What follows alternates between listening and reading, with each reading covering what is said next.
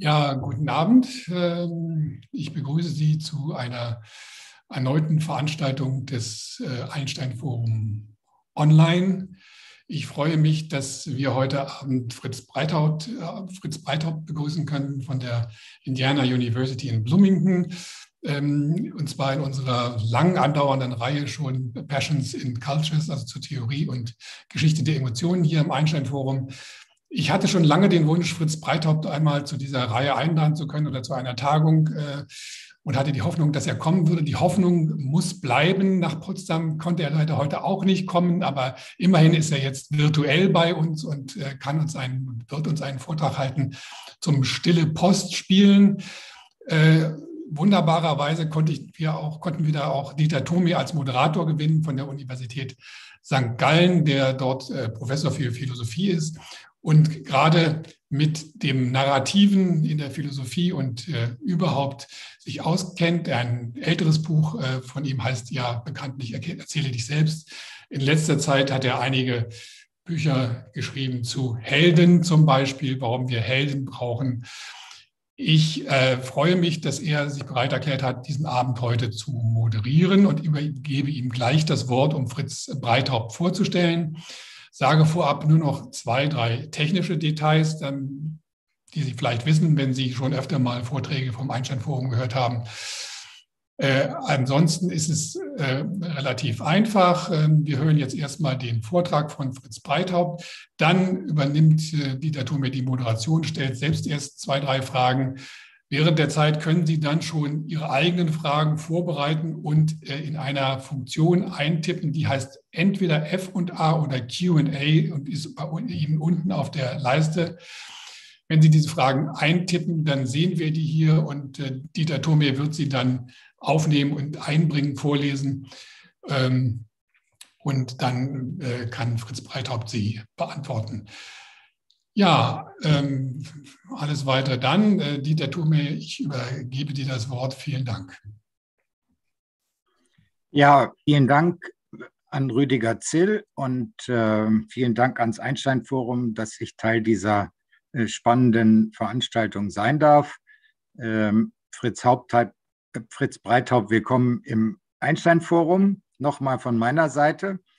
Ähm, Fritz Breithaupt darf ich kurz vorstellen. Er ist Provost Professor an der Indiana University in Bloomington und dort seit vielen Jahren äh, im German Department, war lange Chair, hat seine Doktortitel an der Johns Hopkins Universität 1997 erworben und ich habe sein, seine Publikationen über viele Jahre verfolgt Fritz Breithaupt ist ein ganz besonderer Literaturwissenschaftler und ich weiß nicht genau, wie viele Witze schon gemacht worden sind im Rahmen von Vorstellungen, die mit deinem Nachnamen operiert haben. Äh, wahrscheinlich schon viele, aber jedenfalls liegt es nahe, darüber Witze zu machen, dass er nämlich ein breites Haupt hat. Äh, denn es gibt viele Germanisten, die sich in letzter Zeit den Naturwissenschaften gewissermaßen an den Hals geworfen haben und die dann meinetwegen untersuchen, äh, was im Gehirn passiert, wenn die Leute irgendwelche erotischen Passagen aus Romanen lesen. Äh, es gibt auch viele Germanisten, die ähm, äh, sich sehr politisch äußern und äh, zeitdiagnostisch arbeiten und Literatur und äh, Gesellschaftstheorie verbinden. Ähm, ich nenne jetzt keine Namen für diese beiden Varianten, aber es gibt sehr, sehr wenige, äh, die ein so breites Haupt haben, dass sie eben alles drei tun. Also die Literatur ernst nehmen, die Naturwissenschaften, insbesondere die Kognitionswissenschaften ernst nehmen und gleichzeitig auch noch gesellschaftspolitisch relevante Dinge in ihren Büchern diskutieren. Äh, das ist, glaube ich, die besondere, ein ganz besonderes herausstechendes Merkmal äh, der Arbeiten von Fritz Breithaupt. Äh, nach einem frühen Buch über Goethe hat er dann vier Bücher geschrieben, die ich Ihnen ans Herz legen will. Das erste heißt Der Ich-Effekt des Geldes. Und da merkt man schon die Verbindung zwischen Literatur und Gesellschaftstheorie, auch Ökonomie sehr deutlich, ähm, denn da geht es dann eben um äh, die Romane äh, und die Rolle des Geldes in Romanen dieses Thema der Narration zieht sich durch die Bücher. Das äh, nächste Buch, äh, was dann äh, eine sehr rege Diskussion ausgelöst hat, hieß dann Kulturen der Empathie. Und da wurde dann insbesondere diese Verbindung zwischen äh, Literatur und den äh, Kognitionswissenschaften oder auch der, äh, der Hirnforschung zu Gefühlen ähm, äh, thematisiert. Das nächste Buch bleibt bei der Kultur im Titel, äh, die, die richtet sich aber, befasst sich aber mit der Ausrede. Äh, und da ist dann wieder diese Erzählung als ein Mittel, mit dem man sich rausschlawinert, sozusagen in ganz zentraler Weise, thematisch.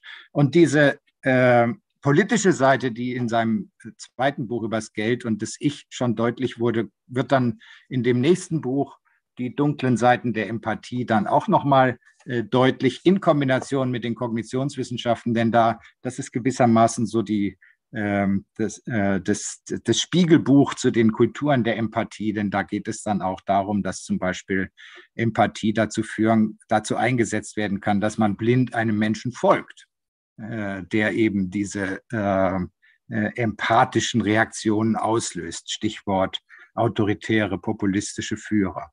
Ähm, also, äh, Sie sehen, da ist äh, viel Zündstoff, viel, vieles spannend, spannend, viel spannende, viel spannende Thematik versammelt in diesen Büchern.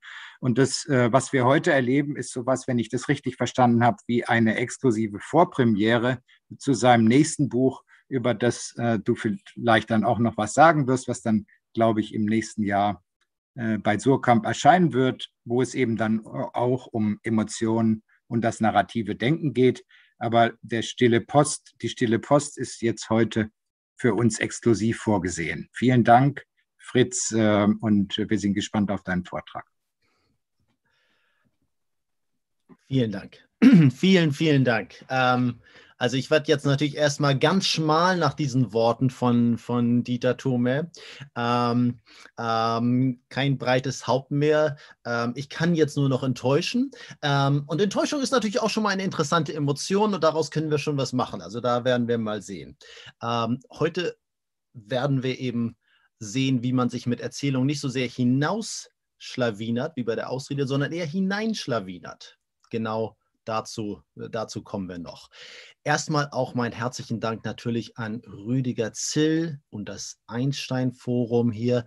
Das ist großartig, auch wenn ich jetzt heute leider nicht in Potsdam bin. Ich bin in Glückstadt, immerhin schon so fast auf dem gleichen Breitengrad. Also wir nähern uns an, wir nähern uns an. Es ist auf jeden Fall eine große Ehre für mich, dass ich hier heute meine Sandkastenspiele entfalten darf ähm, vor Publikum. Mal sehen, was dabei passiert. Ähm, ich beginne hier und werde ähm, mich auf eine PowerPoint beziehen. Ich habe gerade vorhin schon gehört, dass die Verbindung mit mir nicht immer großartig war. Das macht aber nichts auf meinen PowerPoints, da steht nicht viel drauf. Da sind mehr Bilder drauf und ich werde das Wesentliche immer erzählen. Also selbst wenn wir da mal irgendwie schlechten Kontakt haben, das werden wir schon irgendwie ähm, hinkriegen. So, jetzt habe ich erstmal hier das PowerPoint eingestellt. Sehr schön. Also, Stelle Postspiele, Emotionen und das narrative Denken. Jetzt, gut, hier fangen wir an. Ich fange wirklich an bei etwas ganz, für mich ganz, ganz Zentralen. Als Menschen haben wir eine wirklich ganz großartige Fähigkeit. Wir können uns nämlich aus unserem Moment des Hier und Jetzt-Seins, unserem Bewusstsein, dass wir genau an einem bestimmten Ort sind, bei mir derzeit Glückstadt, wie Sie gehört haben, ähm, aus dem wir uns hinaus denken können, hinaus fühlen können, hinaus fantasieren können und plötzlich irgendwo anders sind. Das ist für ein sehr, ähm, ähm, wahrscheinlich sehr eine sehr, sehr spezielle Fähigkeit, dass wir unseren Körper mental verlassen können.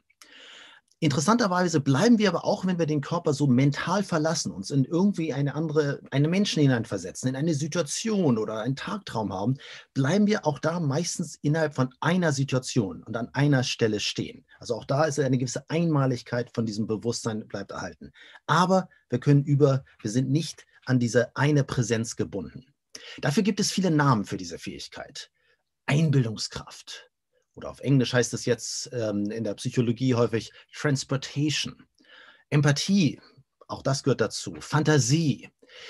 ich möchte heute im ganz allgemein davon sprechen und deshalb benutze ich ein sehr allgemeines Wort, ein schönes deutsches Unwort hier, ein Monsterwort Bewusstseinsmobilität. Mir geht es eben genau darum, wie wir das schaffen, dass wir uns aus unserem, aus dem Gefängnis unseres Kopfes in gewisser Weise hinaus bewegen können und in andere Richtungen bewegen. Diese Bewusstseinsmobilität erweitert den Umkreis unseres Miterlebens ähm, erheblich. Wir können uns natürlich mit anderen Menschen am gleichen Ort und in der gleichen Situation ähm, befinden. In dem Falle könnte man reden, wir davon reden, dass wir etwas miterleben oder eben zusammen erleben. Aber als Menschen können wir eben auch unsere, unser vergangenes Erleben oder unser nur fantasiertes Erleben teilen. Ein Mensch kann einem anderen Menschen erzählen, was ihm oder ihr passiert ist. Und der andere Mensch kann sich das vorstellen, er kann es geistig vor Augen sehen, aber er stellt es sich eben nicht nur vor, sondern er geht dann selber auch diesen Weg mit. Ähm, der andere Mensch macht dann, der versetzt sich dann so in diese Figur hinein, einer Hauptfigur da in der Regel, nicht immer, ähm, und identifiziert sich mit der, ist verschmilzt mit ihr, aber gleichzeitig weiß er oder sie auch doch noch, dass da eine gewisse Distanz ist. Also ein ganz sonderbares identisch sein und nicht identisch sein auf diesem Weg ähm, dessen, was in der Erzählung oder in der Geschichte, die da erzählt wird, vorgestellt wird.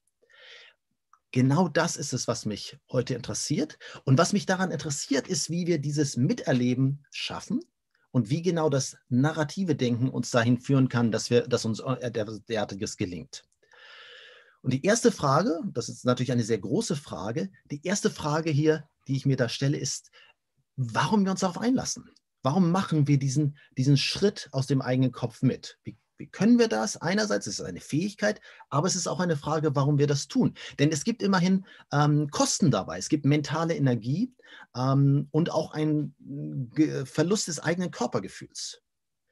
Wer sich plötzlich in eine andere Situation hineinbegibt, weiß nicht mehr so genau, was gerade um ihn herum passiert. Das kann sehr schön sein. Ähm, also so, wenn ich, äh, wenn ich abends irgendwo sitze und mein Buch lese, ist das großartig. Aber wenn ich beim Autofahren plötzlich irgendwie einen Tagtraum habe, der dann sehr intensiv wird, dann ist das möglicherweise lebensgefährlich. Und zwar nicht nur für mich. Also das, das ist keine ganz, keine ganz einfacher Vorgang, ähm, wo wir sagen müssten, ja, das machen wir nicht automatisch. Und die These, die ich hier mitgebracht habe, die ich vorstellen möchte, ist, dass die Narration einerseits diese Bewusstseinsmobilität ermöglichen, aber auch, das ist dann mir das Zentrale heute, dass sie das belohnen. Dass, dass die, die Narration selber uns den Anreiz hat zu bieten, dass wir genau diesen Sprung über uns hinaus auch tatsächlich vollziehen wollen. Und genau darüber möchte ich reden. So, und wenn wir darüber reden wollen, dann muss man sich fragen, okay, was sind Narrationen, wie kommt man dahin und all diese Dinge hier. Ähm, also was sind die zentralen Dinge, äh, Merkmale des narrativen Denkens? Dazu gibt es sehr verschiedene Vorstellungen und das heißt, wir müssen, uns überlegen, wie wir da hinkommen. Der Vorschlag, den ich heute hier machen möchte, ähm, war in meinem Titel schon angekündigt, nämlich wir wollen uns diese, dieser Frage des narrativen Denkens und der Narration überhaupt, dieser Fähigkeit, ähm, mittels der stille Postspiele ähm, nähern. Die Idee ist dabei, dass man, wenn man etwas weiter erzählt, von einem zum anderen, wie auf diesem schönen Klatschgebild ähm, hier von Norman Rockwell, ähm, dass dabei sehr Verschiedenes natürlich transportiert wird, aber natürlich auch immer eigentlich das, was eine Erzählung ausmacht. Wenn ein Mensch etwas anderem etwas weitererzählt und er das dann wiederum weitererzählt, dann sollte man sagen, was auch immer genau der Inhalt ist, Zumindest bleibt es eine Erzählung. Und das ist genau dasjenige, was sich dabei rausfiltert. Hängen bleibt die Erzählung und alles, was eigentlich nicht so wichtig ist oder sowas, kann dabei fallen gelassen werden. Stille Postspiele sind vergnügliche Partyspiele. Sie sind aber auch ein äh, wissenschaftliches Verfahren. Man spricht in dem Falle von einer sogenannten seriellen Reproduktion, in der das gleiche Material immer wieder erinnert wird. Entweder von dem gleichen Menschen oder von Ketten von Menschen, in der ein Mensch oder eine Generation Informationen an eine andere weitergibt. Und wenn man das versucht zu untersuchen, dann erlauben diese seriellen Reproduktionen einem ziemlich genau zu bestimmen, was stabil bleibt was sich also nicht verändert, was verfehlt, was verändert wird oder was optimiert wird. Und genau das, dieses, diese Eigenschaft, dass da äh, unter, äh, beobachtet werden kann, welche Information verstärkt wird oder sich verändert, werden wir uns heute, äh, ähm, werden wir heute ausnutzen. Also es gibt den einfachen Fall, also der Stabilität. Etwas bleibt erhalten über die Zeit. Eine Pyramide ist eine Pyramide, ist eine Pyramide. Es gibt auch den, den, die Möglichkeit des Verfalls. Dinge, die nicht interessieren, die nicht wichtig sind oder aus anderen Gründen fallen gelassen werden, verschwinden mit der Zeit. Aber es gibt natürlich auch die Möglichkeit der Innovation. Es gibt neue Dinge aus der Pyramide, wird dann über viele Sprünge dann die, die, das, das wunderschöne Opernhaus in Sydney und dergleichen mehr. Es gibt verschiedene Muster da. Dieses Verfahren der seriellen Reproduktion geht zurück auf einen Psychologen aus Cambridge, Frederick Bartlett, in seinem 1932 erschienenen Buch Remembering. Ähm, er hat dort mit Erzählung gearbeitet, aber auch mit Bildserien. Ich beginne mal einmal kurz mit einer Bildserie, um dieses Verfahren nochmal zu illustrieren. Er hat hier äh, mit einer Schleiereule, mit einer ägyptisch stilisierten Schleiereule angefangen. Das hat er einem Probanden, einem Versuchsteilnehmer vorgelegt. Dann hat er das Bild weggenommen und der musste das nun oder die musste das dann selber aufzeichnen. Und so ging es in lange Reihen weiter. Jedes der Bilder, was wir hier sehen, war von jemand verschiedenen gezeichnet worden. Was wir hier sehen, ist, dass der erste Nachzeichner hat ziemlich deutlich eine Eule nachgezeichnet, hat an interessanterweise Ohren dazu gedacht. Schleiereulen haben eigentlich keine Ohren, aber plötzlich war, gab es diese Ohren. Und dann wird das irgendwann so ein zotteliger, fusseliger Haufen mit Ohrenspitzen. Es könnte einmal zwischendurch auch eine Maus sein oder sowas, aber dann entscheidet sich ein Nachzeichner oder eine Nachzeichnerin dazu, dass diese weiße Eule inzwischen, dass das was er oder sie da gesehen hat, dass das wahrscheinlich eine schwarze Katze war. Und in dem Moment, wo es eine schwarze Katze ist, bleibt es schwarze Katze. Von da an machen, macht, verschafft es jeder Nachzeichner stabil, eine schwarze Katze weiterzugeben. Also diese ähm, etwas wurde hier stabilisiert, natürlich nicht im Sinne des Originals, aber von da an bleibt es fest. Frederick Bartlett hat nun daraus den Schluss gezogen, dass Stereotype, das, was bei uns im Kopf steht, dann letztlich, äh, was wir erwarten, ähm, dass das dasjenige ist, das, was bleibt.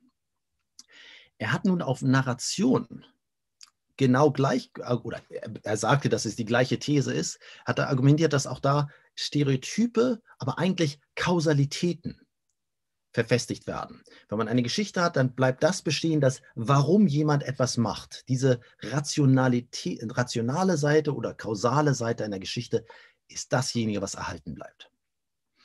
Also die Erwartung sagt ja, was eine Narration ist, ist genau das.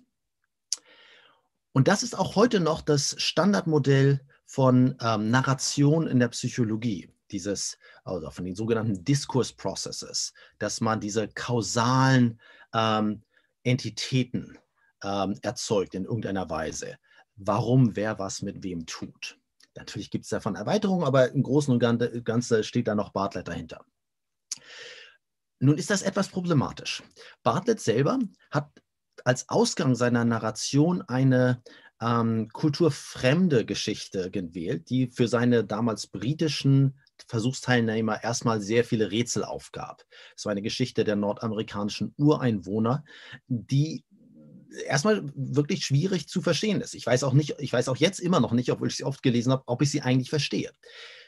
In dem Pro äh, Pro Prozess des Nacherzählens wurde daraus dann plötzlich wieder eine sehr, uns im Westen zumindest, sehr verständliche Geschichte aus den Geistern etwa, die da erscheinen, also mythischen Wesen, ähm, wird plötzlich ein, bei manchen Nacherzählern ein Stamm von Menschen, die sich zufälligerweise Geister nennen.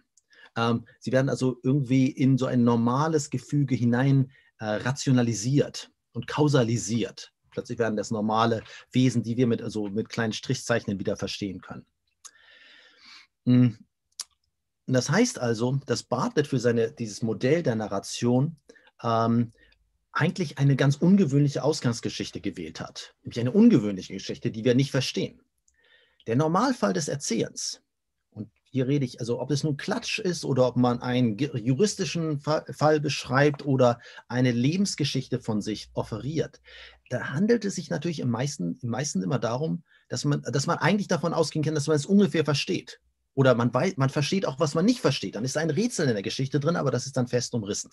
Das heißt, der Normalfall des Erzählens ist dann von Bartlett genau nicht angesprochen worden. Das ist nun der Ausgangspunkt dafür, dass meine Mitarbeiter und ich mich entschlossen haben, selber viele stille Postspiele zu spielen mit vielen Menschen. Wir haben tatsächlich ähm, eine Reihe von Studien angefertigt. Ich werde hier von zwei reden und danach noch von einem ganz anderen stille Postspiel äh, reden.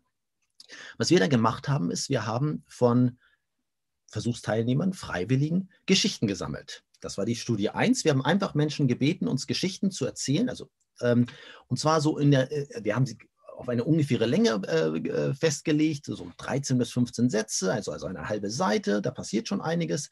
Und wir hatten in diesem Falle gesagt, die sollten uns ähm, frohe oder traurige oder leicht frohe, leicht traurige Geschichten erzäh äh, geben, erzählen, um dann ihnen eine gewisse Kohärenz zu verleihen. Und die Geschichten haben wir dann in Ketten nacherzählen lassen. Wir haben ich erzähle dazu gleich noch mehr.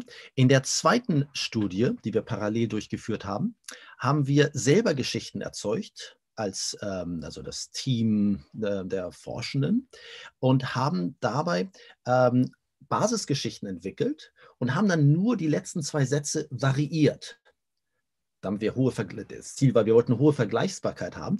Und in der Variation des Endes haben wir die, die, die Stärke der Emotion, der Hauptemotion einer Geschichte variiert, von ganz schwach bis ganz stark. Also das Ende war zum Beispiel ganz leicht peinlich bis mittelpeinlich, peinlich bis höchst peinlich.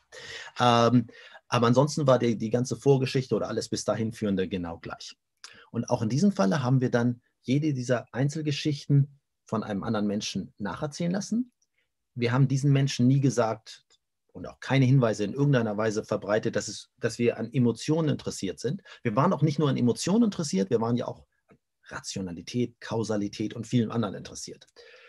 Der eine Mensch hat das nacherzählt, dann wurde es zum nächsten geleitet, der hat es auch nacherzählt und die hat es dann auch wiederum nacherzählt, bis wir drei Generationen von Nacherzählungen hatten von jeder Geschichte. Das haben wir parallel häufig mit der gleichen Geschichte 50 Mal gemacht, mit vielen, vielen Menschen und so weiter. Daraus kam dann, insgesamt hatten wir dann 16.700 etwas Teilnehmer an, dieser, an diesen beiden Versuchsreihen.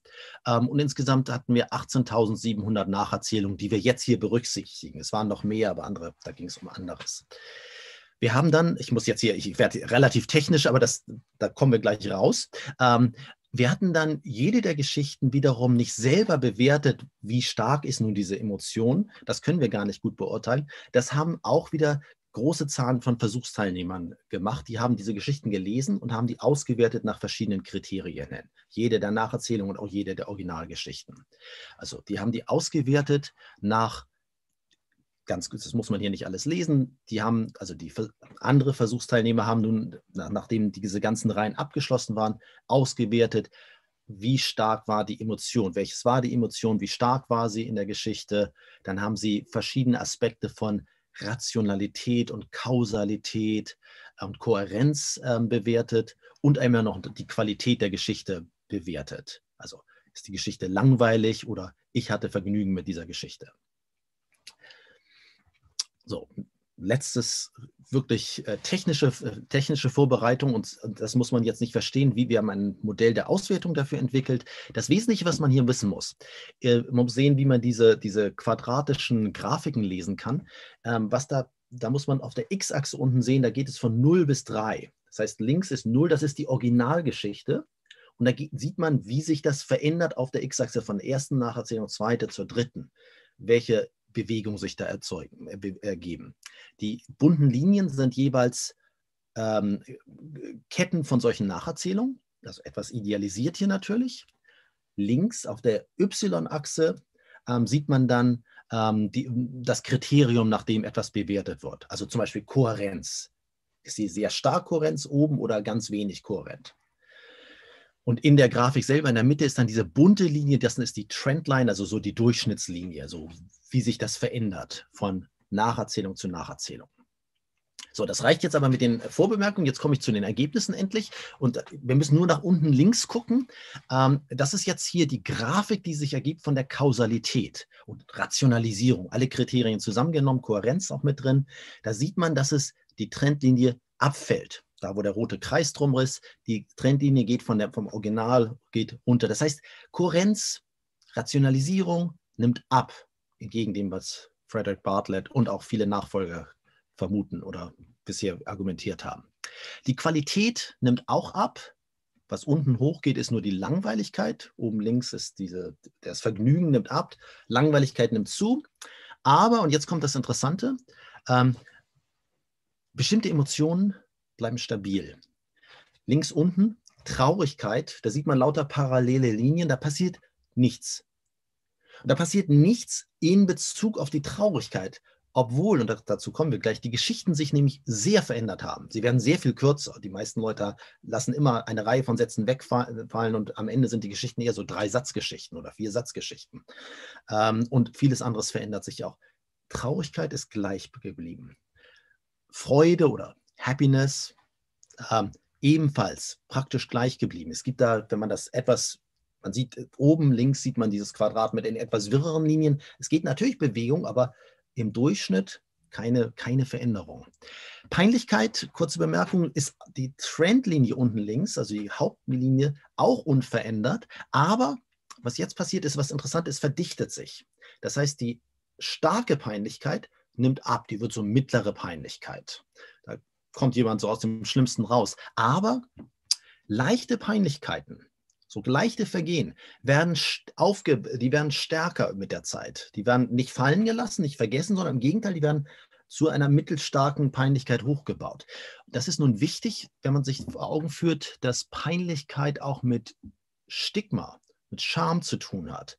Da bleibt etwas hängen.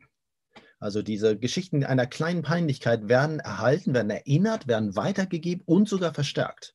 Und das kann natürlich auch zu etwas wie Diskriminierung und so führen. Das, also daran muss man sich erinnern. Peinlichkeiten sind anscheinend relativ gravierend. Das ist hier nur eine Nebenbemerkung für mich, aber für das, was mich interessiert, aber als trotzdem natürlich sehr interessant. Eine Emotion oder mehrere Emotionen, aber eine vor allem nimmt ganz stark ab, das ist Ekel.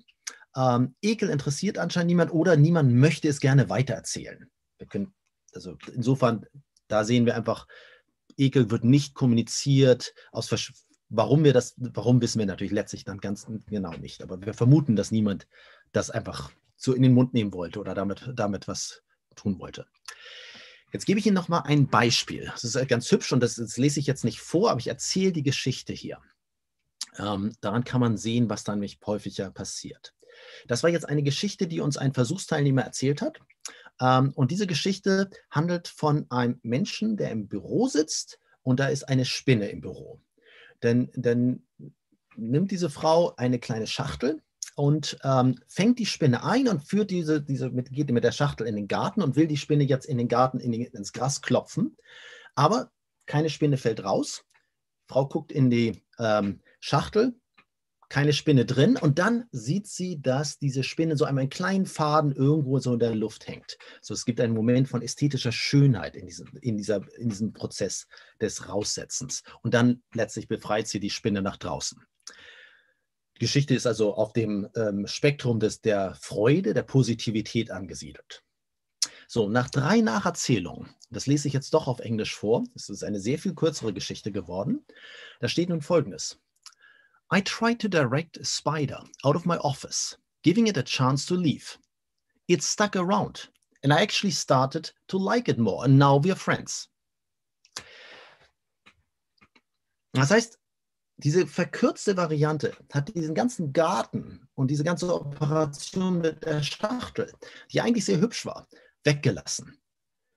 Was gleich interessant, interessant ist natürlich dieses, dieses schöne Wort it stuck around, diese Metapher, dass die Spinne an dem Faden in der Schachtel ist jetzt dieses englische it stuck around. Also es blieb irgendwie, also so, so die Spinne haute nicht ab, die bleibte kleben, irgendwie sowas. Da kann das nicht, glaube ich, im in der Spinnenmetaphorik übersetzen. Aber die Spinne blieb im Büro und, jetzt das Entscheidende, wir wurden Freunde. Also die Positivität der Freude, die Spinne in den Garten zu setzen, wird jetzt die Freude, dass wir ja, befreundet sind. Das heißt, die Positivität in diesem Fall, die Happiness, wurde im Durchschnitt von unseren Bewert Teilnehmern als relativ ähnlich bewertet oder ziemlich ähnlich. Beide Geschichten sind jetzt kohärent. Kohärenz hat ja hier nicht stark abgenommen. Rationalisierung. In manchen, vielen anderen Fällen sind die Nacherzählungen dann auch weniger rational. Diese nächste Geschichte überspringe ich jetzt. Da hätten wir noch einen anderen Fall. So, jetzt komme ich aber nach diesen Resultaten hier zu den Thesen, die ich daraus ableiten möchte. Erste allgemeine These ist hier, dass wir nun vermuten ähm, oder Vermutungen darüber anstellen, was im Nacherzählungsprozess vor sich geht. Wir vermuten, dass die Hörer der Geschichte, wenn sie das erste Mal aufnehmen, die Geschichte verdichten zu einer Gesamtemotion. Was auch immer da passiert, es wird irgendwie eine Emotion. Ähm, und dann im Prozess des Nacherzählens wird erstmal diese Emotion wieder aufgerufen. Also welche Emotion es ist und auch wie intensiv sie ist. Wie stark traurig, wenig traurig. Und dann wird für die, diese Emotion, die da aufgerufen wurde, werden so narrative Teile aufgerufen, die dazu passen könnten. Da werden natürlich bevorzugt Teile aus der Originalgeschichte wieder aufgerufen, also etwa wieder eine Spinne. Aber wie genau das dann zusammengefügt wird, ist dann, wird dann untergeordnet über diese Emotion, die da aufgerufen wurde. Also auch da muss das Original nicht mehr dabei sein. Also das ist, gibt, es gibt jetzt neue Kausalitäten, die unterworfen bleiben dieser Emotion. Konkrete Thesen. Also, Präservation von bestimmten Emotionen ist implizites Ziel des Nacherzählens. Also die Emotionen sind zentral. Das gilt für Freude, Trauer, Überraschung und Peinlichkeit auf jeden Fall. Kausalität und Rationalisierung nehmen ab, zumindest bei solchen Alltagsgeschichten. Die Fakten werden den Emotionen angepasst. Also die Schachtel, der Spinne und die Spinne, ähm, die jetzt zum Freund wird. Die Fakten sind variabler. Die Emotion bleibt die gleiche. Und jetzt gibt es noch ein anderes Element, was ich nur kurz erwähne, dass nämlich die Emotionen in manchen Fällen hin und her wandern in der Geschichte. In längeren Geschichten, immerhin 15 Sätze, das ist nicht so kurz, da gibt es meistens mehrere Ereignisse. Da haben wir häufig beobachtet, dass die Emotion mit einer bestimmten Intensität hin und her springt in der Geschichte, aber am Ende im Gerade erhalten bleibt. Also das zeigt auch wieder, wie variabel letztlich das Material benutzt wird. Das gilt vor allem nun für Überraschung und Freude, für die anderen Emotionen weniger deutlich. Hm. Und jetzt komme ich hier zur ersten Schlussfolgerung nämlich die Frage, was dann letztlich Narration ist. Und hier möchte ich das Standardmodell ähm, des, der Narration, zumindest das, was in der Psychologie ähm, regelmäßig äh, benutzt wird, ähm, etwas revidieren. Ich möchte nicht sagen, dass es falsch ist, aber es muss etwas ergänzt werden. Also statt zu sagen, warum wer was mit wem macht, glaube ich, müssen wir dazu denken oder an, vielleicht sogar an erste Stelle stellen, diese Frage des, wie fühlt sich eine Situation an? Wenn wir in einer Situation sind, eine narrative Situation, wie fühlt sich das dann an? Wie wird das aufgelöst? Wo, mit welcher Narration steht man am Ende? Als These formuliert, meine erste Pyramide, Emotionen sind der Anker des narrativen Denkens. Also die Emotionen stehen an ganz zentraler Stelle in diesem Prozess des narrativen Denkens. Das war die erste These, beziehungsweise das ist jetzt das Ergebnis dieser, dieser Studien, die wir vorgenommen haben. Nun reden wir heute von stille Postspielen und da fallen, fallen dem einen oder anderen auch andere Beispiele ein. Und ich möchte jetzt noch ein zweites ähm, Beispiel von solchen möglicherweise stille Postspielen aufnehmen, um auch darüber nochmal meine Gedanken nochmal ein bisschen so zu ach, reflektieren und zu sehen, ob das dem auch in etwa entspricht. Und hier möchte ich etwas kürzer über die Grimmschen Märchen sprechen. Die Grimmschen Märchen, die ersten aufgeschriebenen, gedruckten Volksmärchen ähm, irgendwo, von denen wir bisher wissen, ähm, werden in der Regel auch als Produkte langer oraler Ketten der Nacherzählung ähm, gekennzeichnet. Das stimmt wahrscheinlich bei allen, nicht allen Märchen. Manche davon waren wirklich Kunstmärchen, aber bei manchen anderen stimmt es, dass die über lange Zeit auch überliefert worden sind. Sodass wir uns auch bei den Märchen fragen können, was hier stabilisiert und gesteigert wird. Hm, und ich stelle hier, ich komme direkt auf den Kern meiner ähm, äh, These hier zu den Märchen hin zu sprechen und möchte erstmal sagen, dass die Märchen keine einfachen Formen sind. Ähm, die sind zumindest ähm, schon mal in sich irgendwie gedoppelt. Es gibt eigentlich zwei Narrative, die sich in den meisten Märchen ähm, irgendwie überlagern und verschachteln. Wir haben das erste Narrativ, das ist, das, das ich als ein äh, passives Narrativ bezeichnen würde, das mit der Verwundbarkeit beginnt, also ein Waisenkind wird in den Wald ausgesetzt, ähm, äh, das also mit dieser Verwundbarkeit beginnt, über eine Gefahr läuft und am Ende in, zu Rettung führt. Ähm, der Jäger kommt und rettet das Kind. Ähm, oder etwas anderes, Helfer kommen in irgendeiner Weise, wo der Held also verwundbar ist und am Ende gerettet wird. Nun gibt es ein zweites Narrativ, äh, in dem die Protagonisten aktiv sind. Das sind die, also ich habe als Beispiel für das obere die Rotkäppchen, unten habe ich den gestiefelten Kater dazu gemacht als Bildchen. Ähm, da haben wir eine Herausforderung, einen Test für die Protagonisten, den diese Protagonisten dann bestehen und dafür am Ende belohnt werden. Also der gestiefelte Kater schafft es aus seiner schwierigen Situation hinauszukommen. Und die typische Überlagerung, meistens sind die beiden ineinander verwoben, findet sich etwa man kann fast auf jedes Märchen zeigen, in Hänsel und Gretel, wo die beiden verwundbaren Kinder in den Wald ausgesetzt werden. Aber die ganze Zeit haben wir die schlaue Gretel, die auf viele dieser Testszenarien immer die Herausforderung immer noch eine Antwort findet und die dann letztlich das auch schafft, der Gefahr zu entgehen. Also es gibt Rettung, aber es gibt auch, es ist gleichzeitig auch Belohnung für dafür, dass Gretel eben so schlau war und das geschafft hat, sie rauszuführen. Diese Überlagerung der beiden Narrative führt nun dazu, dass letztlich, die sich dann auch dazu bündelt, dass, es, dass sie im Ende übereinstimmen, führt dazu, dass eigentlich die Verwundbarkeit der Waisenkinder, der ausgesetzten Kinder, selber zur Belohnung führt. Also es gibt nicht nur Rettung, sondern auch Belohnung. Das heißt, eigentlich ist die ideologische ähm, Nachricht der Märchen besteht daran zu sagen, Verwundbarkeit wird belohnt. Das ist mit diesem Satz könnte ich sagen, das ist im Grunde genommen meine These zu den Grimmschen Märchen hier. Jetzt möchte ich das kurz wieder auf das stille Postspiel hier beziehen. Das heißt, erstens einmal, Verwundbarkeit bleibt bestehen und wird sogar optimiert. Das sind immer nur Waisenkinder, meistens nur das Mädchen, der Junge oder sowas. Man hat, nicht mehr, man hat häufig keine Namen mehr. Es ist optimale Verwundbarkeit die wird gesteigert. Zweiter Punkt, das ist jetzt auch wieder nur eine historische Nebenbemerkung, die Verwundbarkeit wird um 1800 zur Waffe, zur Waffe des Bürgertums gegen die Aristokratie. Aristokratie ist natürlich, äh, ist, äh, wird durch Geburt vermittelt. Aristokraten sind eigentlich unveränderbar. Sie sind geboren und sind, haben schon blaues Blut. Das wird nicht mehr verfärbt. Die Bürger dagegen sind veränderbar. Sie haben Bildung, aber eben auch Verwundbarkeit. Sie sind affizierbar. Sie wandeln sich. Und genau das wird in diesen Märchen nun zur Tugend erhoben. Die Verwundbarkeit wird belohnt. Das ist die Stärke des Bürgertums, ist genau das, diese Affizierbarkeit, Veränderbarkeit, das Haben von Gefühlen, das Leiden.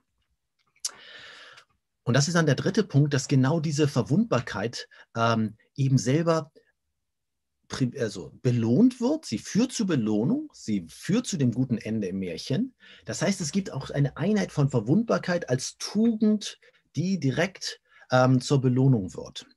Das heißt, anders gesagt, die Affizierbarkeit, das Gefühle haben, ist bereits die Belohnung. Also auch hier steht genau dieser gefühlsvolle Mensch am, äh, ist, der, ist das Ziel und die Belohnung der Narration des Märchens. Der immerhin der erfolgreichsten äh, Narrationen in den letzten Jahrhunderten. Also diese Grimmschen Märchen sind nicht zu unterschätzen in der Beziehung. Das heißt nun hier meine zweite Pyramide als These, ähm, Emotionen sind die Belohnung für das narrative Denken. Und genau das scheint mir nun der entscheidende Punkt auch zu sein für ähm, unsere Bewusstseinsmobilität, ist, dass die Emotionen uns hineinlocken und hineinziehen, dass wir in die Emotionen, äh, in die Narration einsteigen wollen. Wir wissen bei den Narrationen, bei den narrativen Episoden schon, dass sie in Emotionen münden, dass sie uns auch mit den Emotionen wieder entlassen aus der Geschichte. Die enden, da kommen wir dann auch wieder raus. Und diese Emotionen sind Bereicherung, ähm, aber eben auch ein sehr positiver Anreiz für uns. Ich gebe ein paar Beispiele dafür. Lange Liste, so sieht das erstmal aus. Ähm, die Emotion als Belohnung für das narrative Denken. Da können wir an sehr viele klassische narrative und auch ästhetische Emotionen denken. Der Triumph, da denken wir dann vielleicht als erstes an, an, irgendwelche Superheroes, also die Superhelden von Marvel und so weiter. Aber es gibt auch viele kleine Triumphe, ähm, dass man irgendwas geschafft hat. Auch die Alltagsgeschichten haben Triumph drin. Das ist ein sehr, sehr verbreitetes, ähm, äh, eine verbreitete Emotion. Staunen. Staunen ist Belohnung der Neugier. Also Narrationen machen uns neugierig. Wir wollen wissen, wie es ausgeht, was passiert da. Und mit der Auflösung gibt es auch ein Staunen. ein, ein, ein, ein Wundern darüber, was da plötzlich möglich ist. Und das ist selber die Belohnung, gar nicht das Wissen. Das Wissen ist meistens nebensächlich, naja gut, jetzt weiß man irgendwas, aber das Staunen ist dasjenige, was uns da hineinlockt. Vielleicht auch den einen oder anderen Wissenschaftler. Auch wir haben das Staunen noch nicht verlernt. Hm, ganz wichtig, Genugtuung. Die meisten großen Werke der Literatur sind Moralerzählungen. Am Ende gewinnen die, die Guten und die Bösen werden bestraft. Und auch da gibt es, auch bei der Strafe, gibt es eine positive Emotion, die Genugtuung bei der verdienten Strafe, Satisfikation. Auch das ist eine Emotion, die uns belohnt am Ende dafür, dass da etwas passiert. Gut, die Liste ist lang, ich äh, könnte sie viel länger machen. Rührung, Erlösung, endlich ist etwas passiert, aber auch eine ganz andere Emotion hier, Aufrütteln, Ärger, Narrationen können uns auch zu, zum äh, Aufrütteln, es kann da Ärger erzeugt werden und das kann uns dazu führen, nun endlich zu handeln, ähm, endlich agit äh, zu agitieren. Also so, dass man jetzt mal was macht. Ja, hier denke ich jetzt auch wieder an die Werke, das letzte große Werk hier von Dieter Thume, den Pur Robustus. Es gibt ein Aufrütteln auch einmal, dass man etwas tut. Auch da gibt es eine narrative ähm, Komponente. Die erhabene Erschütterung bei tragischen Überraschungen Vielleicht erwähne ich noch den letzten Punkt hier, die therapeutischen Effekte bei kollektiven Narrativen.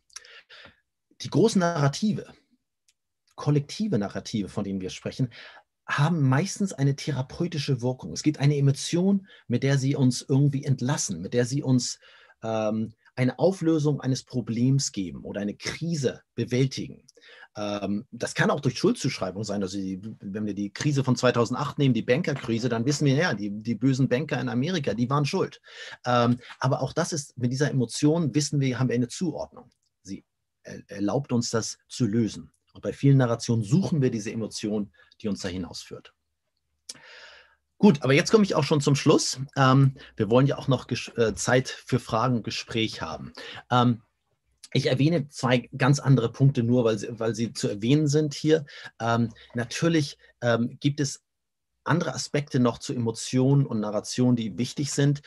Ein Punkt ist in, in die Intensität, ähm, die wir im narrativen Miterleben fühlen, die sich auch daraus verdankt, dass wir immer nur an einem Punkt in der Geschichte sind und in diesem einen Punkt ist immer ganz viel möglich. Spannung, Hoffnung, ähm, Furcht, dass etwas Schlimmes passiert, ich, und in solchen Fällen rede ich von Multiversionalität. Man denkt, dass in jedem Moment alles anders kommen könnte. Also wir stehen an einem Punkt und wir haben immer eine Spannbreite von Möglichkeiten. Auch das gehört natürlich zu dem Thema Emotionen und Narration dazu. Aber da, darüber rede ich jetzt nicht. Eine andere Frage, die mich auch sehr interessiert, die ich aber nur mal einmal kurz anstoßen möchte hier, ist, wie wir eigentlich dazu gekommen sind, Narrationen zu lernen, als also diese Kultur Kraft der Narration für uns zu entdecken. Und ich glaube, dass wir, oder ich kann es mir eigentlich nur richtig vorstellen, dass das über Bühnen passiert ist. Ähm, Bühnen im weiteren Sinne, nämlich als Vorführung vor Publikum, die dann kollektiv dem Aufmerksamkeit widmen, was da ihnen vorgestellt, vorgespielt wird, ähm, wo sie sehen, ah, was da mir jetzt vorgestellt und vorgespielt wird, passiert nicht jetzt hier in diesem Moment, sondern da wird etwas erzählt, etwas dargestellt, was bei der Jagd passiert ist oder was im Dorf passiert ist und wo ich nicht dabei war, was mir jetzt aber mitgeteilt wird. Das heißt, um Erzählen möglich zu machen, müssen, muss man sich das vorstellen, dieses Zuschauen muss entdeckt werden, das Zuhören als Kulturtechnik. Das kann man vielleicht auch als Ausrede benutzen, wenn man jetzt irgendwie Fußball spielen gucken will. Es gibt ja wichtige Spiele diese Tage. Zuschauen ist Kulturtechnik. Also wir machen da Kultur, wenn wir das tun. Ähm, aber gut, da, davon rede ich jetzt nicht weiter. Und es gibt natürlich andere Aspekte des narrativen, des Planens und so weiter, des narrativen Denkens, die man erwähnen könnte. Aber stattdessen komme ich hier zum Schluss, damit wir unsere Fragen stellen können und, und diskutieren können. Schlussthesen ganz einfach. Ähm, ganz einfach, und das ist genau, wo ich jetzt sagen würde, okay, versuchen Sie sich, das ist jetzt meine These, das müssen Sie sich merken, alles andere bitte gerne vergessen. Wir wissen ja aus den Stille Postspielen, dass nicht immer alles hängen bleibt oder dass es sehr verändert wird. Das These jetzt also hier, das Miterleben und unser mobiles Bewusstsein oder diese Bewusstseinsmobilität werden durch narratives Denken angeregt. Und kultiviert und eingeübt wird dieses narrative Denken, weil es durch Emotionen belohnt wird. Also die Emotionen sind uns, unser Preis, dass wir dieses Ganze mitmachen. Deshalb, wir ahnen, wir wissen schon, was da auf uns zukommt. Und insofern noch das letzte Schlusswort an alle Eltern, an alle Lehrer. Hm, Geschichten erzählen. Das, auch das muss geübt werden. Und ich hoffe, dass äh, in der Schule oder zu Hause viele Menschen ihre eigenen Geschichten erzählen und weiter ähm, erzählen werden und das auch einüben in irgendeiner Weise. Okay, jetzt höre ich aber auf. Jetzt äh, höre ich auch auf mit dem, ähm, mit dem Shared Screen hier und übergebe das Wort erstmal an Dieter Thome.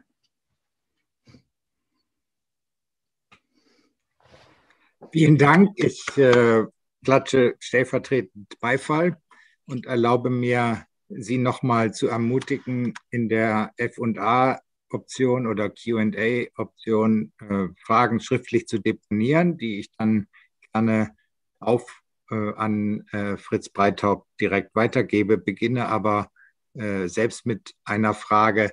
Ähm, du hast von den Experimenten berichtet mit den selbst erfundenen Geschichten, mhm. die sich dann stark verwandeln. Ähm, ich äh, wäre jetzt gespannt, ob du mal darüber nachgedacht hast, Literatur auch in äh, dieser, dieser mhm. Prüfung zu unterziehen. Und die Frage, die sich mir da aufdrängt, ist, äh, ob Literatur sich vielleicht gerade dadurch auszeichnet, dass man sie äh, noch viel schlechter nacherzählen mhm. kann als äh, diese Alltagsgeschichten. Jedenfalls stelle ich mir das extrem schwierig vor, ähm, jetzt äh, so eine Art Nacherzählung zu bieten. Also da gibt es einen Menschen, der äh, darüber nachdenkt, dass, dass er irgendeinen Beruf ergreifen könnte oder sonst was machen könnte. Das gefällt ihm aber alles nicht, er weiß nicht so richtig, was er machen soll. Irgendwie passiert dann alles Mögliche und es gibt Verwicklungen aller Art und er beginnt eine etwas seltsame äh, am, äh, amoröse Beziehung mit seiner Schwester und das Ganze klingt so furchtbar banal und ist der Mann ohne Eigenschaften und bei dann oder da ist der Vater umgebracht worden und jetzt versucht der Sohn rauszukriegen, was da passiert ist und hat dann einen Verdacht gegen den neuen Lover seiner Mutter oder was auch immer, dann bist du bei Hamlet. Äh, und irgendwie wird es dann so furchtbar banal. Äh, und, ist, äh, und du hast ja sehr betont die sozusagen Kondensierung, also die auch die Vereinfachung der Geschichte. Das ist ja unweigerlich der Fall, wenn, äh, wenn was nacherzählt wird. Man versucht, so viel wie möglich zu behalten, aber man kann sich dann nicht alles merken. Und äh, das heißt, es wird eindimensional und äh, ist dann nicht äh, vielleicht eine gesellschaftliche, aber auch kommunikative, lebensgeschichtliche Herausforderung für uns alle, äh, Eindimensionalität zu verhindern? Äh, oder ist es der einfach auch was, was man in Kauf nehmen muss, weil es auch, du hast es ja betont, dann eben so eine Klarheit ins Leben bringt. Also äh, die Frage ist, wie gehen wir mit dieser Multidimensionalität, der Vieldeutigkeit von Literatur um? Ist, die, ist das jetzt was Gutes oder ist das irgendwie auch vielleicht was Überkandideltes, was, äh, was Lebensfeindliches, weil es immer alles so furchtbar komplex ist.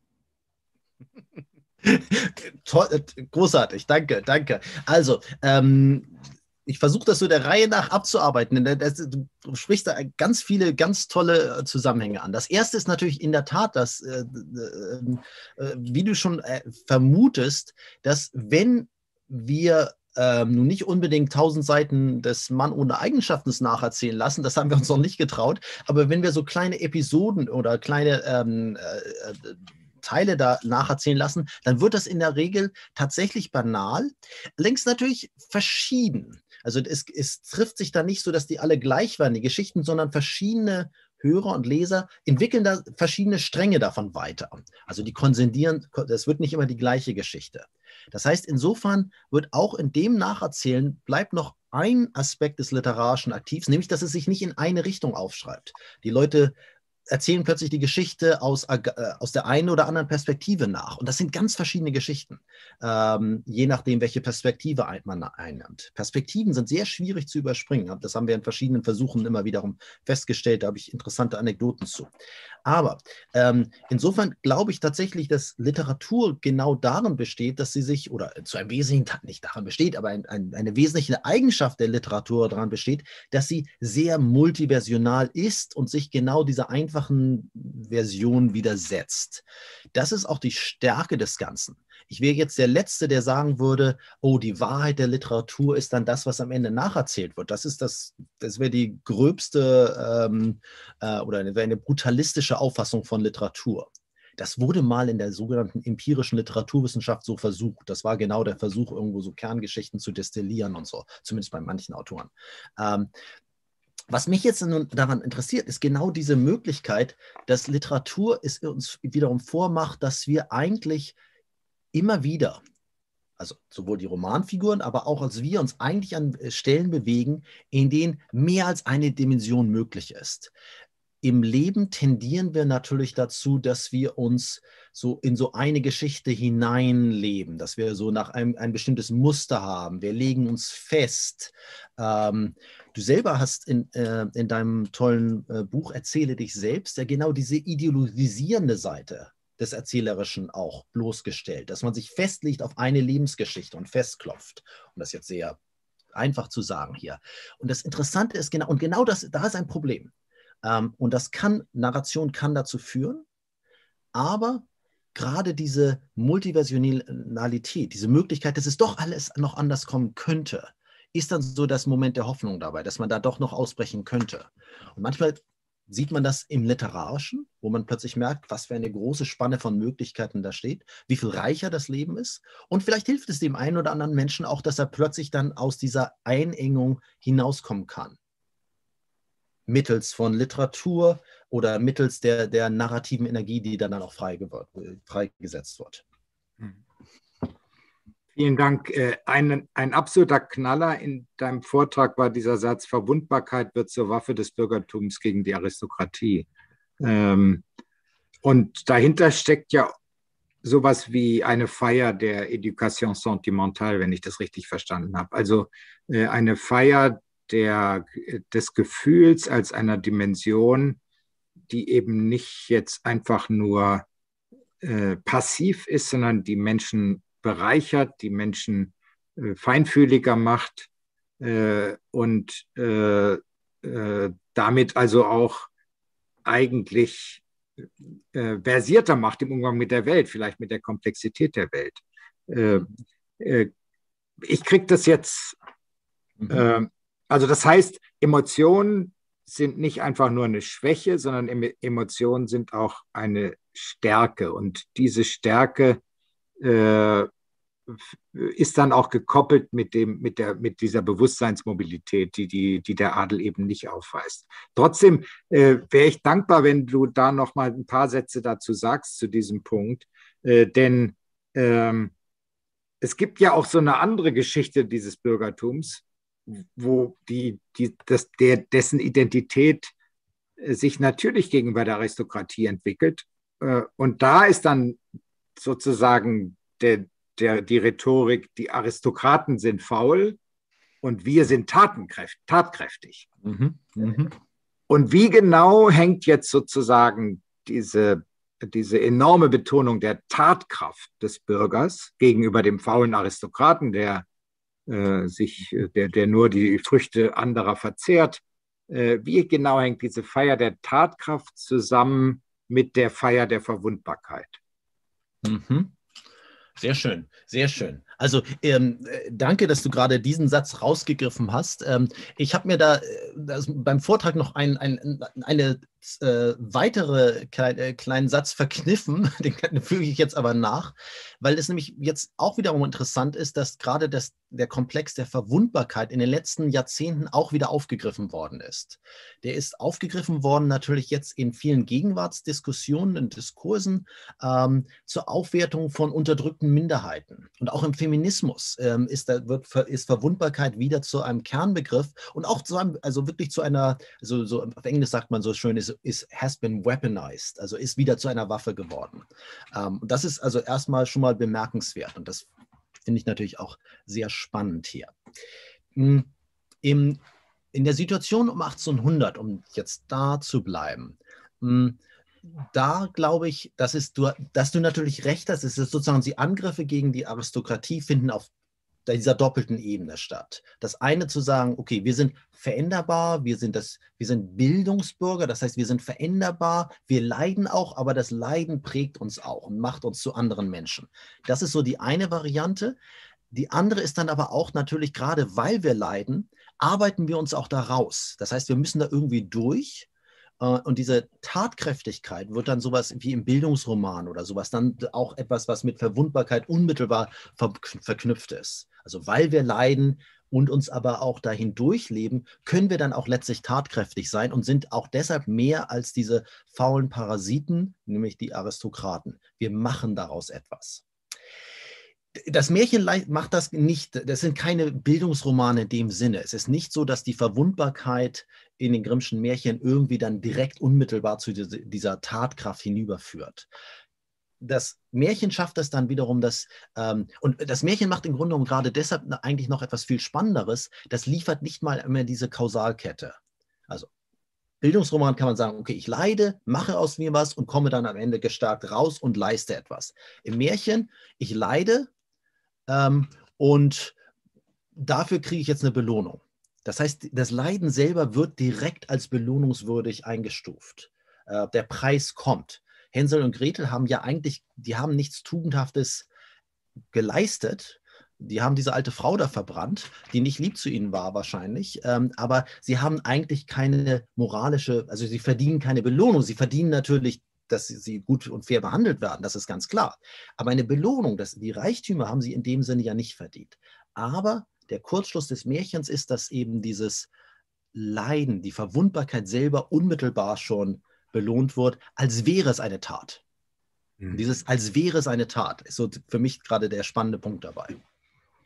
Vielen Dank. Ich hätte noch äh, viele andere Fragen, aber ich halte mich jetzt mal zurück, weil äh, sehr interessante Fragen aus den, dem Publikum auch schon eingegangen sind. Ähm, wer, wer, noch was loswerden will, äh, es gibt vielleicht noch die Chance, dass äh, wir noch zu, weitere Fragen in, im Rahmen der Veranstaltung unterbringen können. Aber ich beginne mal äh, mit Sandra Huning, die äh, sich sehr bedankt für den interessanten Vortrag und nachfragt, gibt es Unterschiede bei diesem Nacherzählen, bei der Reproduktion von Geschichten, wenn man auf die Art der Teilnehmer schaut? Also gibt es Unterschiede nach Race, Class, Gender, Alter? Äh, ich weiß nicht, ob ihr da reingeschaut habt, ob ihr so spezifisch sein konntet.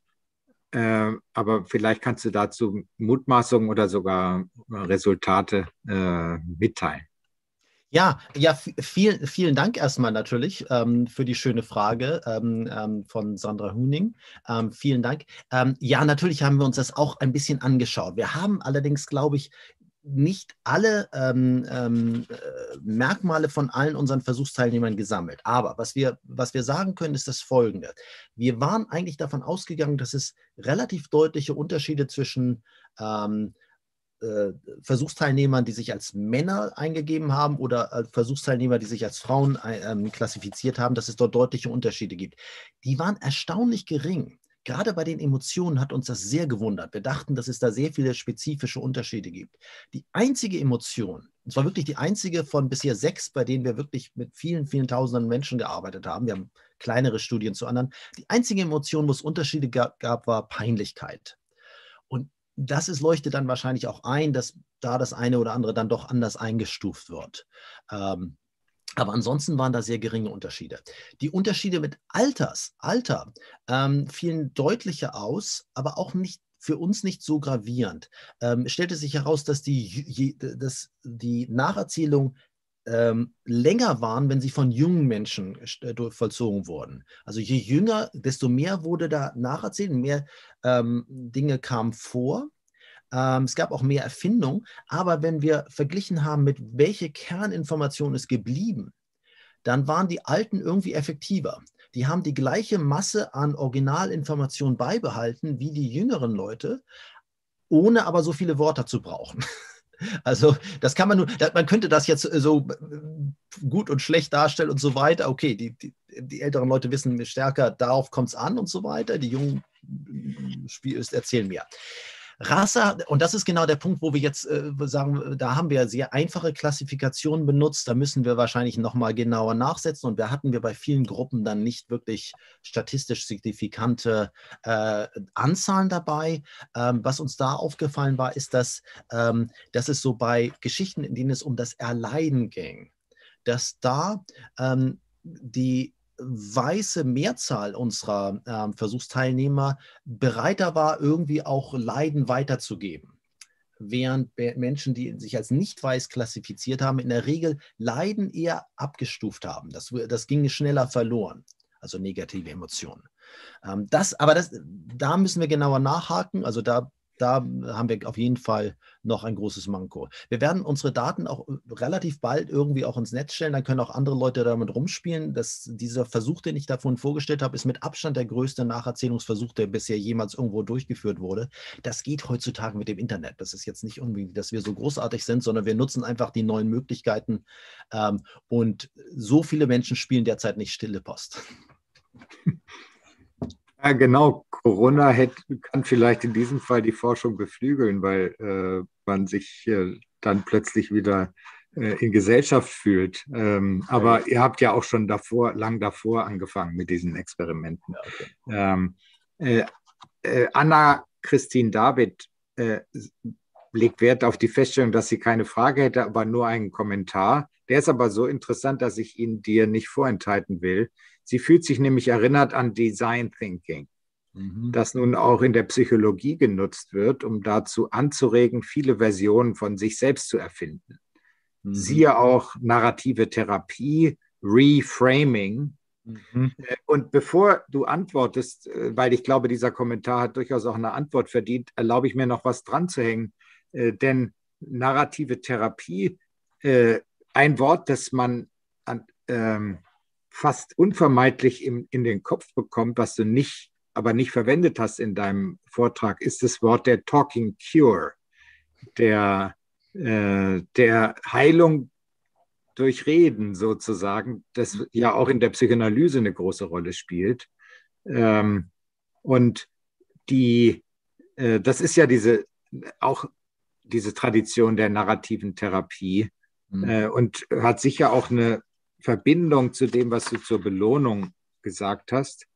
Ähm, gleichzeitig ist ähm, das, was Anna-Christine David anspricht mit dem Reframing, ja auch dann, dann äh, vielfach verwendet worden im Zusammenhang mit äh, sich alles neu zurechtlegen, Retrofitting, die Vergangenheit sich neu äh, sozusagen äh, streamlinen und all diese Dinge. Also äh, das assoziiere äh, assoziiere ich nur hinzu, aber ha Hauptsache du äh, kommentierst vielleicht den Kommentar von Anna-Christine David.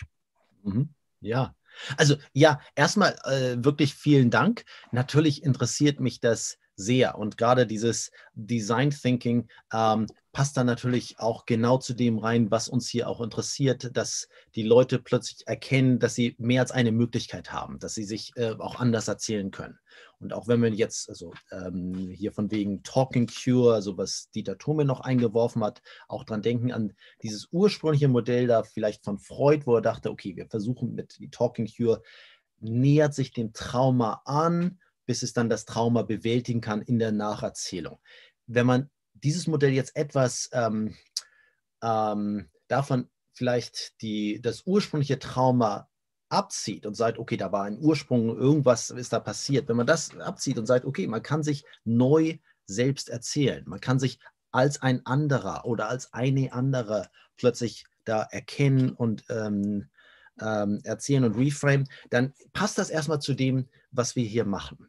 Nun, eine interessante Sache, und ich habe das vorhin kurz in einem Stichwort erwähnt, die ich dazu sagen möchte, ist diese Schwierigkeit der Perspektivsprünge.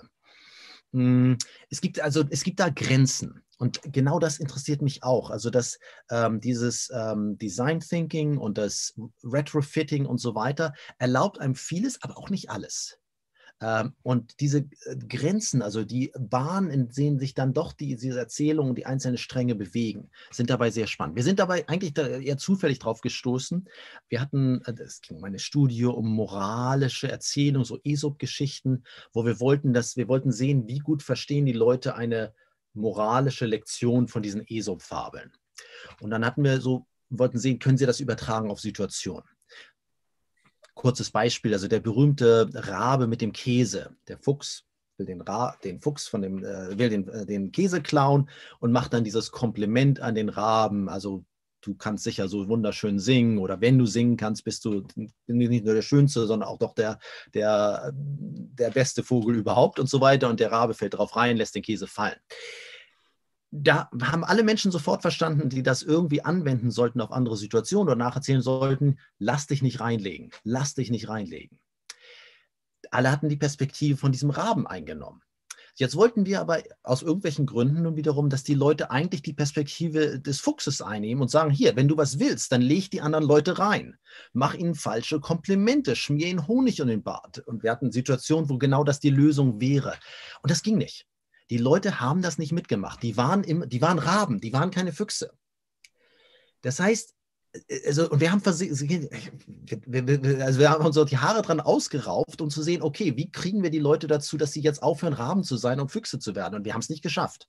Das heißt, dieses, und warum ich das jetzt so umständlich erzähle, ist hier jetzt auch, auch auf diese, ähm, auf die schöne Frage hier mit dem Design Thinking von Anna-Christine David, ist eben genau diese, diese Möglichkeit des Design Thinkings, ja, Design Thinking with Limits. Also da, man bleibt in Perspektiven oder da sind vorgefertigte Muster, aus denen muss man erstmal rausspringen können. Man muss erstmal verstehen, dass es da, dass es überhaupt diese andere Perspektive gibt.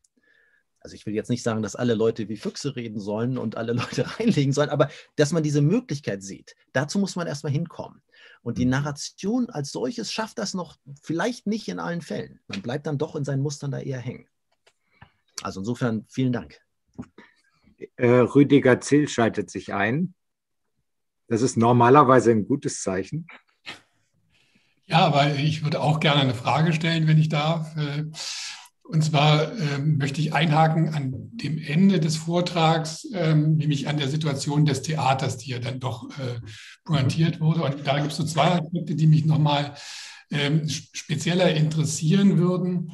Also du hast jetzt gesprochen von der Belohnung durch Emotionen. Die Emotionen waren ja aber in erster Linie, soweit sie da auftauchten, also inhaltlicher Natur. Mhm. Die Frage war, die mich jetzt interessieren würde, ist, ob es möglich war und ob ihr es gemacht habt, in der Experimentalsituation sozusagen die Sozialität von solchen Erzählungen auch nochmal mit zu reflektieren. Ich, ich komme deswegen drauf, weil ich mich sehr für äh, Anekdoten interessiert habe, die, die, Weitergabe von Anekdoten, die ja auch eine Art stille Postspiele sind. Äh, und das geschieht ja meistens auch dann äh, darum äh, in, in, Gruppen oder um auch Gruppen zu stabilisieren oder auch als, eben nicht zu stabilisieren, je nachdem. Also hier, da ist eine, so, durch dieses, diese Weitererzählung eine soziale Dynamik. Es gibt auch unter Umständen äh, emotionale Belohnung vom Publikum. Äh, das heißt, man muss mitbedenken, was, wem man es erzählt und was will man eigentlich von dieser Person äh, zurückhaben, wenn man das. das die, die Maxime bei einer Anekdote ist ja nicht die, sie muss stimmen, sondern sie muss gut erzählt sein. Ja? Mhm. Also deswegen würde mich interessieren, gibt es da eine Möglichkeit oder habt ihr das mit irgendwie in, in modelliert in euren Experimenten? Und die zweite ähm, Idee, die mir dazu kam, die ist eigentlich relativ simpel, die lässt sich zusammenfassen. Kann man eure Ergebnisse im Grunde mehr oder weniger als eine Ausdifferenzierung der aristotelischen Maxime von Furcht und Theater erzeugt Furcht und Mitleid, äh, beziehungsweise bewältigt sie, äh, mhm. nennen. Ähm, ja, äh, äh, vielen Dank, vielen Dank. Äh, und zwar ähm, äh, ganz konkret würde ich sagen, dass ähm, diese soziale Situation des Nacherzählens jetzt etwas ist, was wir viel deutlicher in den Blick kriegen müssen. Wir haben bisweilen das versucht zu simulieren in irgendeiner Weise, dass wir Angaben geben, an wen das warum weitererzählt wird, eine Geschichte. Wir haben aber bisher davon abgesehen zu sagen, dass da ein wirklicher Mensch sitzt oder sowas, der einem dann Feedback gibt, also von dem man Rückmeldung bekommt.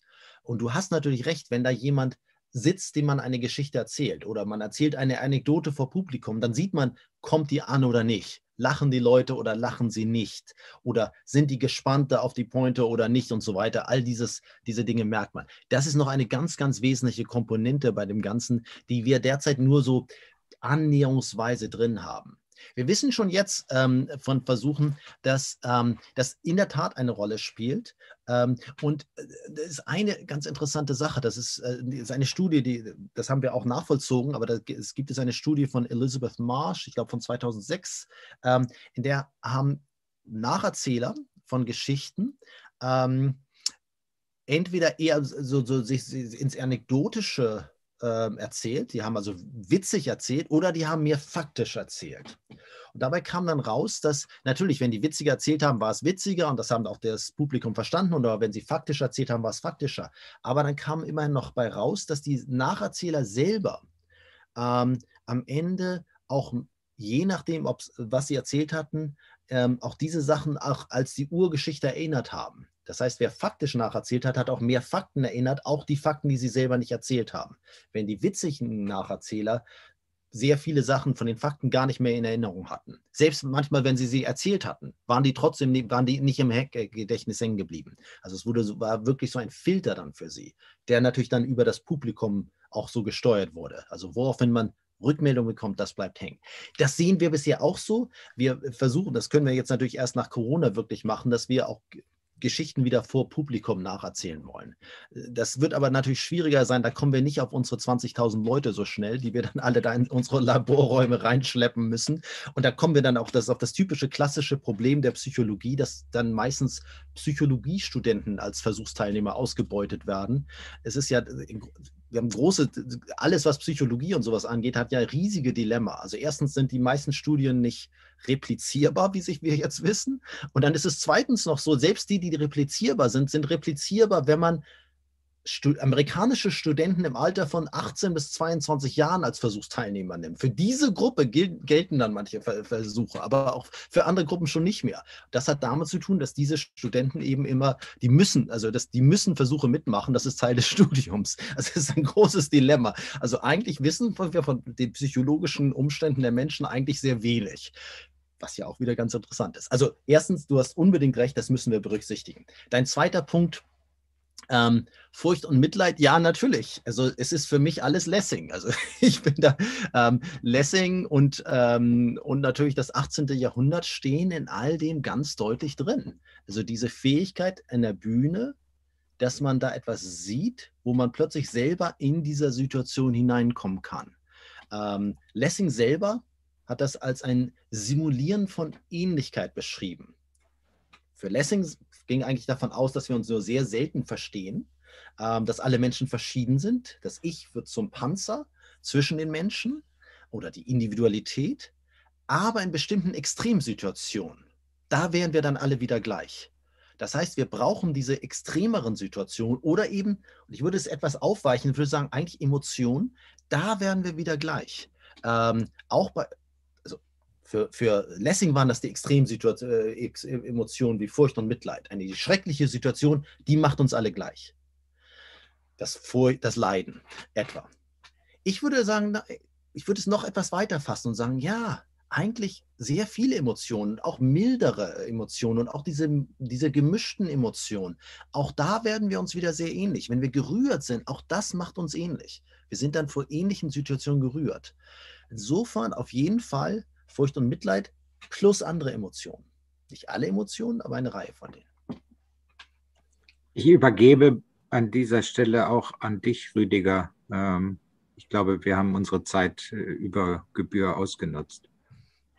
Ja, sehr gut. Ähm, ich glaube, es gab noch die, die Frage, ob man diesen Vortrag dann noch weiterhin nachlesen oder nachhören kann. Nachlesen auf alle Fälle demnächst, äh, weil äh, du das ja als, wie am Anfang schon gesagt worden ist, äh, bei STD, glaube ich, sogar auch als Buch äh, publizieren wirst, dann ausgiebiger mit viel mehr Details und äh, allen anderen Möglichkeiten, sich da zu informieren. Äh, nachsehen, also ob wir diesen, normalerweise sage ich ja, stellen wir unsere Vorträge nach einer Zeit auch immer mit ins Netz. Ansonsten äh, danke ich jetzt erstmal äh, Dieter dir für die Moderation, vor allen Dingen natürlich Fritz Breithaupt für, die, äh, für den Vortrag.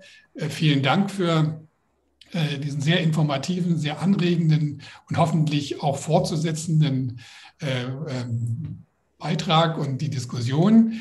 Äh, möchte da an der Stelle nur noch darauf hinweisen, die Corona-Situation und die Online-Situation, in die wir dadurch geraten sind, äh, lässt uns da natürlich ein bisschen auch übertreiben. Das heißt, wir haben jetzt morgen und übermorgen schon wieder Vorträge am Einstein-Forum.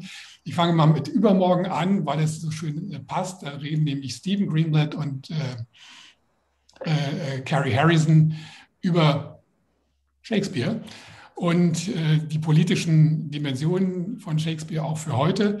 Und morgen haben wir äh, einen Vortrag von Emanuele Koccia, Metamorphosis. Gehen Sie auf unsere Website, informieren Sie sich über die Details und vor allen Dingen klicken Sie dann sofort äh, auf den Link, der Ihnen für äh, die Vorträge die Zugangsberechtigung verschafft. Vielen Dank. Herzlichen Dank. Vielen Dank. Vielen Dank auch für das Publikum. Ohne Publikum funktioniert nichts. Vielen Dank für die Fragen, lieber Dieter,